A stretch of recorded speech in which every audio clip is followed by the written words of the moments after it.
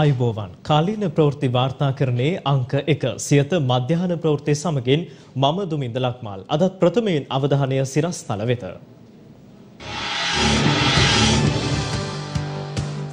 Covid නිසා ඊයේ දින නොපැවැත්වූ පන්දුවර 20යි 20 ක්‍රිකට් තරඟය අද සජීව විකාශය රාත්‍රී 7 සිට සියත ටීවී ඔස්සේ. කෑම පැයේදී හෙද වර්ජනයක්. බාලවයස්කාර දරුවන් සොයා අදත් පොලිස් මෙහෙයුම්. ඉශාලිනීගේ සිද්ධිය සම්බන්ධයෙන් අදත් ඩයිගම වතුයායේ විමර්ශනය දේවය ගොඩ ගැනීම ඉදිරියේදී කොවිඩ් නිසා රෝහල් ධාරිතාවේ ඉක්මවා නැහැ විශේෂඥ වෛද්‍ය හේමන්ත හේරත් කියයි මෙරට සමස්ත කොවිඩ් ආසාධිතීන් ලක්ෂ තුනේ සීමාවාසන්නේට. ඩෙල්ටා අවධානම හේතුවෙන් අමරිකාවේ මුව ආවරණ නීතිය දැඩි කරයි.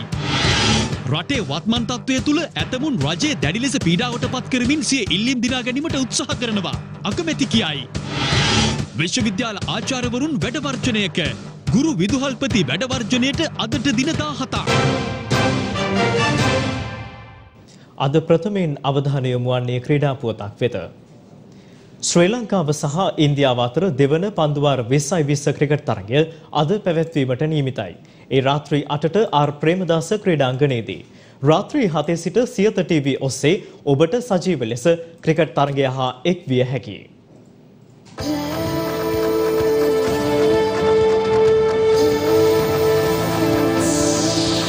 වැටුනක් ශ්‍රී ලංකාව සහ ඉන්දිය කණ්ඩායම් අතර ඊයේ පැවැත්වීමට නියමිතව තිබූ දෙවැනි පන්දුවාර 20 20 ක්‍රිකට් තරගය අද දින දක්වා කල් දැමීමට සිදු වුණා. ඒ ඉන්දිය තුන් ඉරියව් ක්‍රීඩක කෘණාල් පාණ්ඩේ හට කොවිඩ් ආසාදනය වීම හේතුවෙන් කෙසි වෙතත් ඔහුගේ ආශ්‍රිතයින් අට දෙනෙකුද මේ වන විට හඳුනාගෙන තිබෙනවා.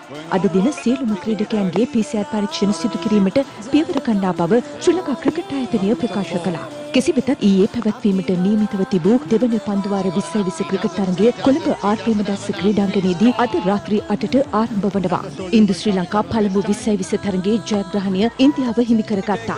ICC 20 20 කණ්ඩායම් ශ්‍රේණිගත කිරීමේදී ඉන්දියාව පසුවන්නේ දෙවන ස්ථානයේ. ශ්‍රී ලංකාව රැඳී සිටින්නේ නවවන ස්ථානයේ.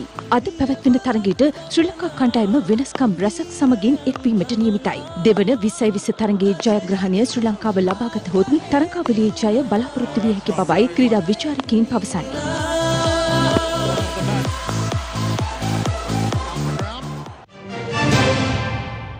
දැන් අවධානය දේශීය පුවත් වෙතයි.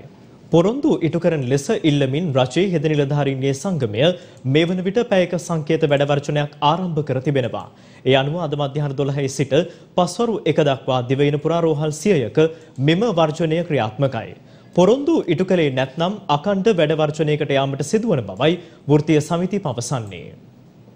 ඉල්ලීම් කිහිපයක් මුල් කරගනිමින් ආරම්භ වූ මෙම වැඩවර්ජනය අද පස්වරු එක දක්වා ක්‍රියාත්මකයි. පසුගිය ජූලි පළවනදා සහ දෙවනදාත් හෙද වැඩවර්ජනයක් ක්‍රියාත්මක වුණා. එහිදී ඉල්ලීම් නවයක් මුල් කරගනිමින් වැඩවර්ජනය ක්‍රියාත්මක වූ අතර ඉන් ඉල්ලීම් දෙකක් සඳහා කැබිනට් අනුමැතිය හිමි වුණා. කෙසේ වෙතත් ඊට අදාළ චක්‍රලේඛ මෙතෙක් නිකුත් කර නැති බවයි රජයේ හෙද නිලධාරීන්ගේ සංගමය සඳහන් කළේ. උසස් වීම් පටිපාටිය සඳහා වෙන් කර ඇති කාල සීමාව අවම කිරීමට පියවර ගැනීම හෙද සේවයේ මාණ්ඩලික සේවාවන් ආශ්‍රිත ගැටලුවලට කඩිනම් විසඳුම් ලබා දීම ඇතුළු ඉල්ලීම් කිහිපයක් මුල් කර ගනිමනුයි මෙම වර්ජනය ආරම්භ වුණේ. අද දිනේ දිවයිනේ රෝහල් 100ක් කේන්ද්‍ර කර ගනිමින් මධ්‍යහන 12 සිට පස්වරු 1 දක්වා වන කෑම පැයේදී මෙම වර්ජනය ක්‍රියාත්මක වනවා. මෙම වැඩ වර්ජනය සම්බන්ධයෙන් සමස්ත ලංකා හෙද නිලධාරීන්ගේ සංගමේ සභාපති සමන් රත්නප්‍රිය මහතාගෙන් අප විමසීමක් කළා. රජයේ හෙද නිලධාරීන්ගේ සංගමය අද දහවල් 12 සිට 1 දක්වා දිවයිනපුරා රෝහල් 100ක විරෝධතා ව්‍යාපාරයක් ක්‍රියාත්මක කරනවා. සේවා පවත්වාගෙන යමින් කරන මේ උද්ඝෝෂණ ව්‍යාපාරයට හේතුව වෙන්නේ ජුලි 1 2 වැඩවර්ධනයක් ක්‍රියාත්මක කරා. ඒ පැය 48ක වැඩවර්ධනය ඇතුලේ ජනාධිපතිවරයා සෞඛ්‍ය ඇමතිවරයා මැදිහත් වෙලා කැබිනට් පත්‍රිකා දෙකක් අනුමත කරා. සේවා උසස් වීම වලට අදාළ කැබිනට් පත්‍රිකාව අනුමත කරත් අද වෙනකන් ඊට අදාළ ගැසට් නිවේදනය සෞඛ්‍ය ලේකම්වරයා නිකුත් කරලා නැහැ. ඒ වගේම මානසික සේවා තත්ත්වයට අදාළව කැබිනට් පත්‍රිකාව අනුමත කරා. රාජ්‍ය පරිපාලන ලේකම්වරයා ඊට අදාළ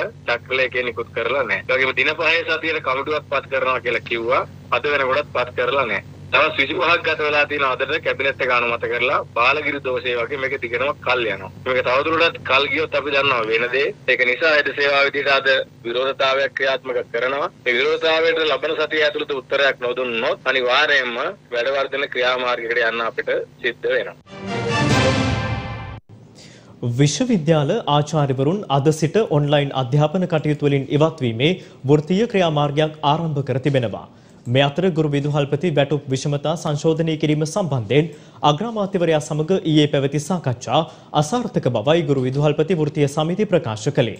ඒ අනුව ගුරුවරුන් ඔෆ්ලයින් ගිහින් අදට දින 17ක් කොතලාවල ආරක්ෂක විශ්වවිද්‍යාල පනතට විරෝධය පළ කරමිනුයි අද දිනේදී විශ්වවිද්‍යාල ආචාර්යවරුන් ඔන්ලයින් අධ්‍යාපන කටයුතු වලින් ඉවත් වී ඇත්තේ. මේ පිළිබඳ අදහස් දැක්වූ විශ්වවිද්‍යාල ආචාර්යවරුන්ගේ සමිති සම්මේලනයේ සභාපති ශාම බන්නහැක මහතා. කොතලාවල විශ්වවිද්‍යාල පනතට අපි විශ්වවිද්‍යාල ආචාර්යවරුන්ගේ සමිති සම්මේලනයේ හැටියට දිගින් දිගටම විරෝධය ප්‍රකාශ කරලා ඒ පිළිබඳව විවිධ වැඩ කටයුතු කරමින් පවතිනවා. ඉතින් එහි එක වැඩසටහනක් හැටියට එක විරෝධතාවය දැක්වීමේ අංශයක් ලංකාවේ සියලුම විශ්වවිද්‍යාලවල සේවය කරන ආචාර්යවරු මේ ඔන්ලයින් ඉගැන්වීමේ ක්‍රමවලින් ඉවත විශ්වවිද්‍යාල ආශ්‍රිතව විරෝධතා ව්‍යාපාරයක නිරත වෙනටත් තීරණය කළා ඒ පිළිබඳ කටයුතු කරමින් ඉන්නවා. ඒ විරෝධතා වැඩසටහනට ආචාර්යවරුන්ට අමතරව අනධ්‍යයන කාර්ය මණ්ඩලවල සේවක මහත්ම මහත්මියනු සහභාගී වෙනවා. දිගින් දිගටම මේ තත්ත්වය කියලා රජය හිතුවක්කාරව කටයුතු කරනවා නම් අපිට සමහරට දීර්ඝ කාලීනව වෘත්තීය සමිති ක්‍රියාමාර්ග වලට යන්නට සිද්ධ වෙයි. මේ අතර ගුරුවරුන් සහ විදුහල්පතිවරුන් ඔන්ලයින් අධ්‍යාපන කටයුතු වලින් ඉවත් වී අදට දින 17ක් ගතව තිබෙනවා.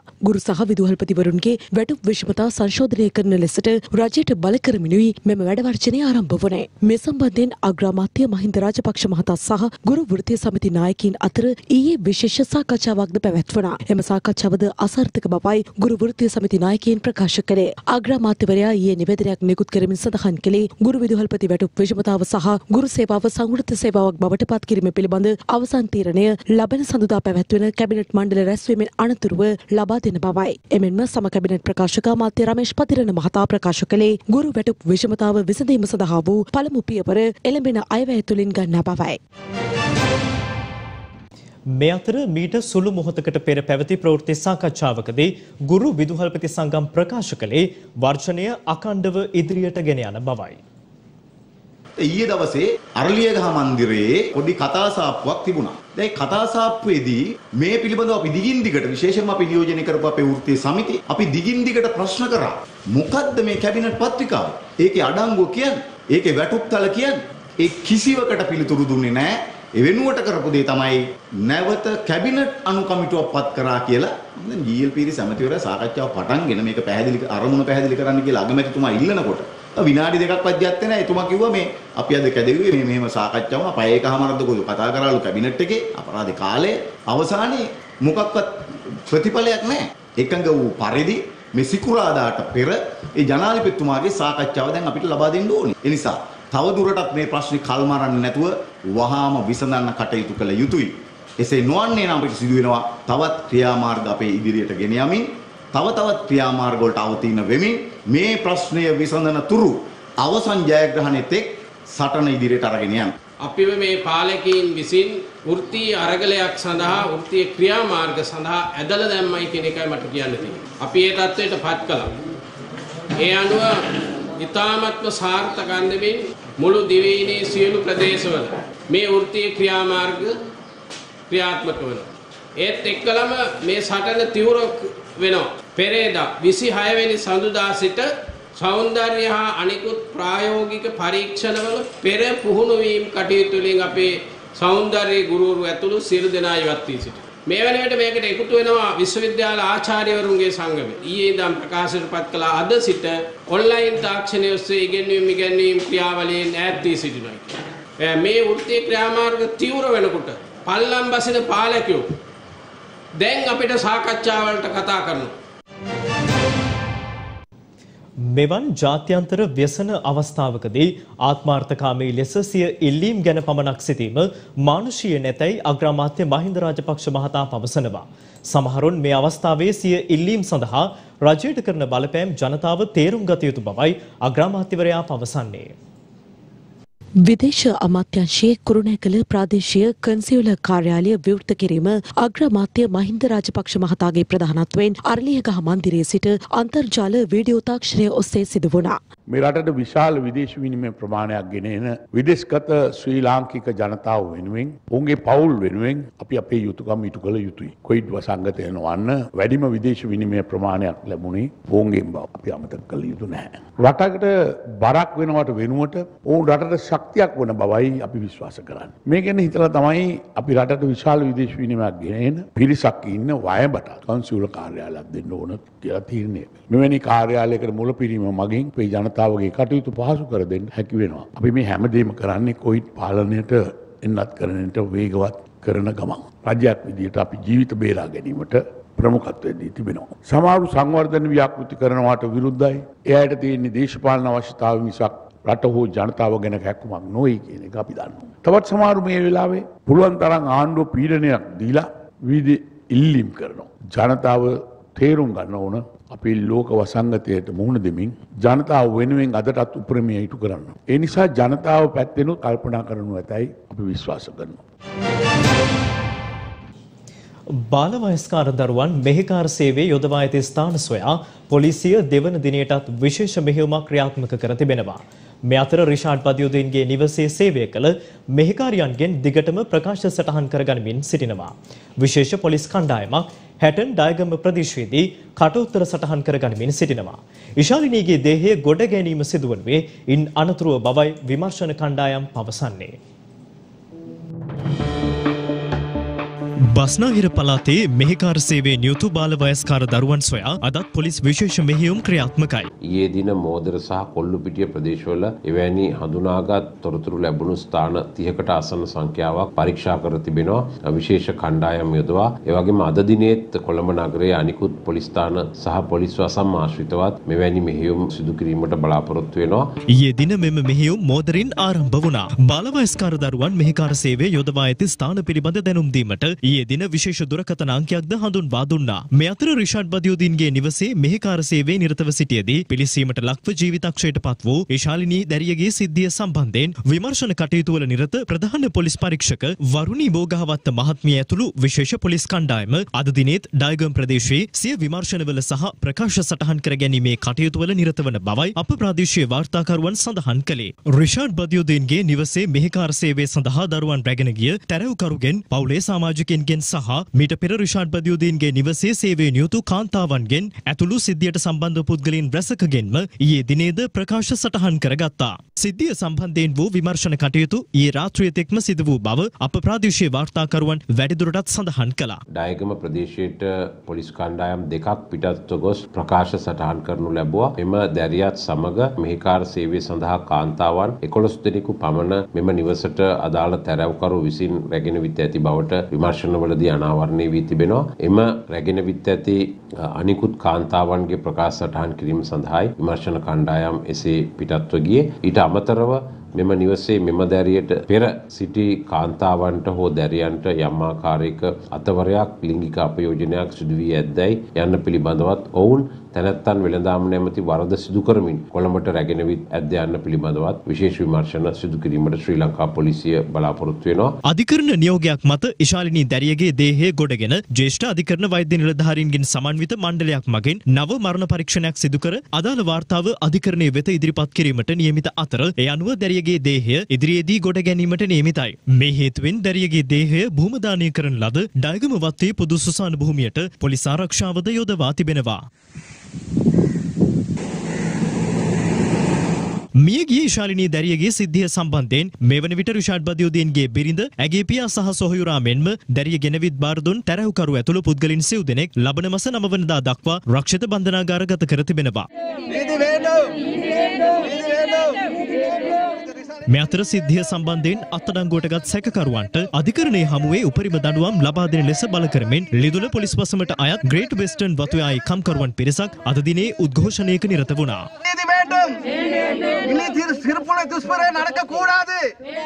ඒ මිනිහට දනුවමක් දෙන්න ඕනේ. අපි ඔක්කොම උනන්දුයි ඒකට. මෙරට සමස්ත කොවිඩ් ආසාදිතයින්ගේ සංඛ්‍යාව අද වන විට ලක්ෂ තුනකට ආසන්න වී තිබෙනවා. මාධ්‍ය වාර්තා කරන පරිදි රෝහල් ධාරිතාව ඉක්මවා නැතැයි විශේෂඥ වෛද්‍ය හේමන්ත හේරත් මහතා අද ප්‍රකාශ කළා. මේ අතර ඇමරිකාව වහාම ක්‍රියාත්මක වන පරිදි මුව ආවරණ නීතිය දැඩි කර තිබෙනවා. දැන් කොවිඩ් පිළිබඳ සම්පූර්ණ වාර්තාවක්.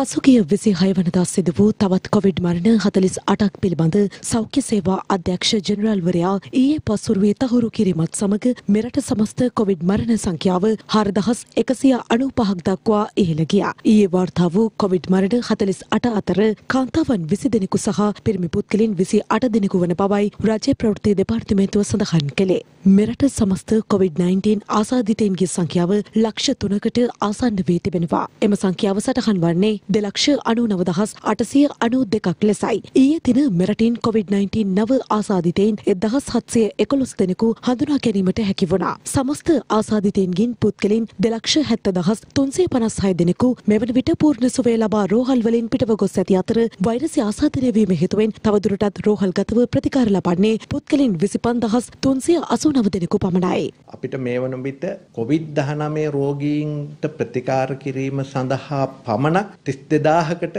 ඉක්මවපු ඇඳන් සංඛ්‍යාවක් සූදානම් කරලා තියෙනවා. ඒ වගේම මේ වන විට ඇඳන් 7000 ඉක්මවලා සූදානමින් තියෙනවා අවශ්‍ය ඕනෑම වෙලාවක භාවිතා කිරීම සඳහා. මේ ප්‍රවෘත්තිවල වාර්තා වෙන පරිදි රෝහල්වල සන්තෘප්තභාවයක් සිදුවීමක් ගැන නෙවෙයි සිද්ධ වෙලා තියෙන්නේ. වාට්ටුවල ධාරිතාව ලංවීමට ආසන්න වනකොට තවත් ඒ වාට්ටු වෙන් කරලා ඒ කටයුත්ත ඒ ආකාරයෙන්ම තවත් ඉඩකඩ සලසා ගැනීමක් සිද්ධ වෙනවා. රෝහලක මොනම ආකාරයකින් හෝ ධාරිතාව ඉක්මවා යෑමක් සිද්ධ වෙලා නැහැ. යම් යම් මුද්‍රිත මාධ්‍යවල සඳහන් කරලා තිබුණා. මම ඩෙල්ටා වෛරසය ලංකාවේ ඕනෑම ප්‍රදේශයක සින්න පුළුවන් කියන මතය ලංකාවේ සෑම ප්‍රදේශයකම සිටින්න පුළුවන් කියන විදිහට ඒක වෙනස් කරලා ඒක මෙයා කරලා තියෙනවා. ඒක හරහා වැරදි හැඟීමක් ඒ කියන්නේ. නමුත් ඒකෙන් අදහස් වෙන්නේ නෑ. මේක දැන් රට පුරා පැතිරිලා තියෙනවායි කියලා. හැටන් මහේස්ත්‍රාත් අධිකරණයේ රෙජිස්ට්‍රාර්වරයාට COVID-19 වෛරසය ආසාදනය වී ඇති බවට අද දින තහවුරු වීම හේතුවෙන් එම අධිකරණයේ කැඳවීමට නියමිතව තිබූ සියලු නඩු වෙනත් දිනයක කැඳවීමට හැටන් මහේස්ත්‍රාත් අධිකරණයේ දිසා විනිසුරු සහ මහේස්ත්‍රාත් නිමේෂා පටපැන්දිගේ මහත්මිය නියෝග කර තිබෙනවා.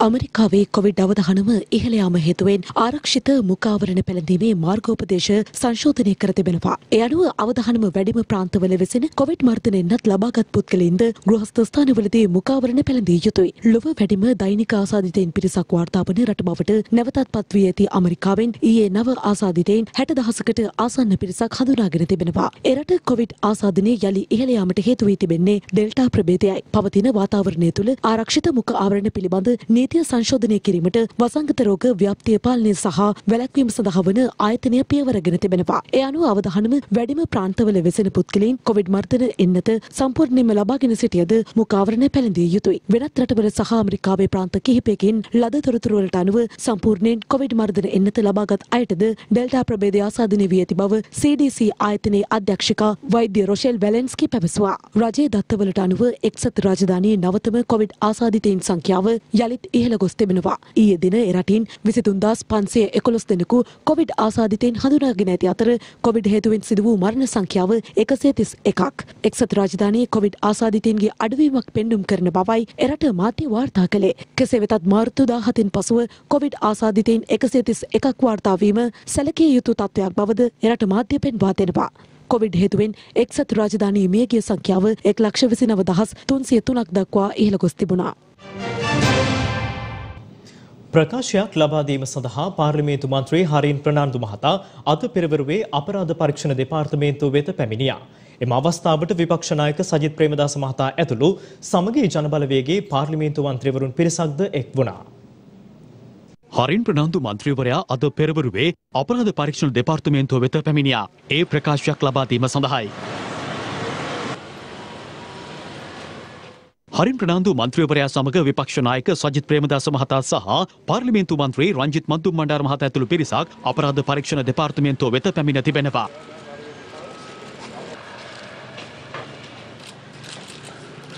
හරින් ප්‍රනාන්දු මන්ත්‍රීවරයාගෙන් මේ වන විටත් අපරාධ පරීක්ෂණ දෙපාර්තමේන්තුව ප්‍රශ්න කරමින් සිටිනවා. අද රටට අවශ්‍ය වෙලා තිබෙන්නේ සමගි ජන බලවේගයේ മന്ത്രിවරු දඩයන් කිරීම නොව පාස්කු ප්‍රහාරයට සැබෑ වගකීම යුක්තන් හොයලා බලලා පරීක්ෂණ පවත්වලා මේ රටේ ජනතාවට පොරොන්දු වූ පරිදි ඒ ජනතා පොරොන්දුව ඉෂ්ට කිරීම තමයි අද මේ රජයෙන් සිදුවිය යුත්තේ. අපි සම්බන්ධුගේ මහත්යාගේ කාරණා කතා වෙච්ච තහනේ. ඉනිස් ජාවාරම් සම්බන්ධව යම්කිසි යම්කම් නඩුවක් මගේ දැනුවත්ද? මම දැනුවත්ද කියලා මම එතුමගේ නීතිඥතුමා නෙමෙයි. රිෂාඩ් බදූරින් මැතිතුමාගේ ඒ ගැටලු ප්‍රශ්න පිළිබඳව ඔබතුමාලා ආණ්ඩුවෙන් අහගන්න. ආණ්ඩුවට අත් උස්සපු മന്ത്രിවරු තුන්දෙනෙක් දැන් ඉන්නේ ආණ්ඩුවේ. දැන් ආණ්ඩුව සින්නක් කරොප්පුම අරගෙන තියෙන්නේ. රිෂාඩ් බදූරින් මන්ත්‍රීවරයාත් මේ දඩයේම ඉන්නවද ඔබතුමන්ලාගේ? දඩයන් ක්‍රියාවලිය තුළ අපි ඉල්ලීම් කරන්නේ එතුමාට වුණත් චෝදනා ඉදිරිපත් කරලා එතුමාව නීති හමුවට ගෙන යන්නට ඕන එතුමා මොන හරි වරදක් කරලා තියෙනවා. පාර්ලිමේන්තුවේ කතා කරා කියලා තමයි අද ප්‍රශ්න කරන්න යන්නේ. පාස්කු ඉරිදා බෝම්බේ පුපුරලා අවුරුදු දෙකයි මාස තුනක් එනවා. ආපු ගමන් ඔක්කොම අල්ලනවා කිව්වා. දැන් මම හිතන්නේ ඒවා වෙනුවට කරන්නේ අපේ മന്ത്രിවරු දඩයන් කරනවා. අපි ආණ්ඩුවට කියනවා පාස්කු ඉරිදා මහමොළු කරු දන්නවා කියලා කිව්වා. කරුණාකරලා ඒගොල්ලෝ දඬුවම් දෙන්න මේ മന്ത്രിවරුන්ට කරදර කරන්න නැතුව. දැන් ව්‍යාපාරික පුවත් විශේෂාංගය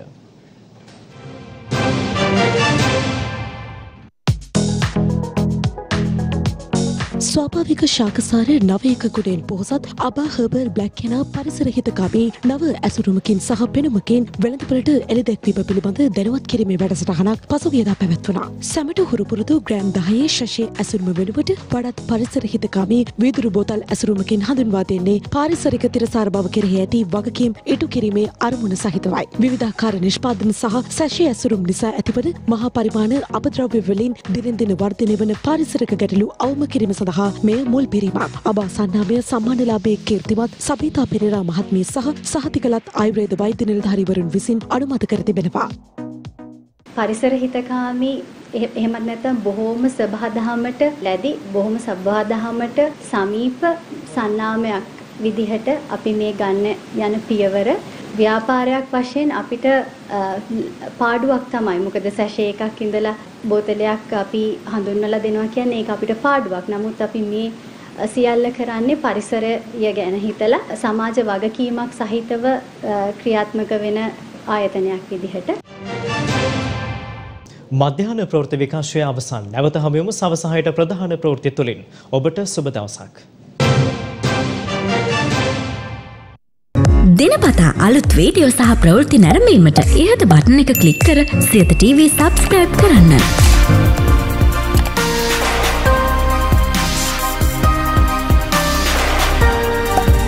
අලුත් වීඩියෝ ගැන මුලින්ම දැනගන්න මෙම සීනුව ක්ලික් කරන්න.